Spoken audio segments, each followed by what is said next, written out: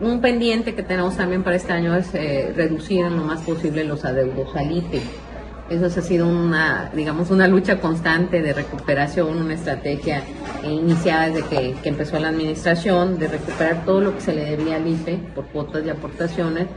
Nos debían alrededor de mil millones, hemos recuperado más de 800 y algunas deudas que se han generado nuevas con los ayuntamientos que entraron en el 22.